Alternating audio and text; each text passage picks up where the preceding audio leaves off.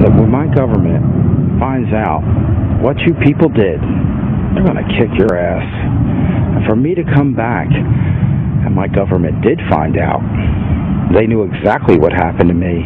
They know exactly what happened to my little baby boy. And they're covering up for political purposes.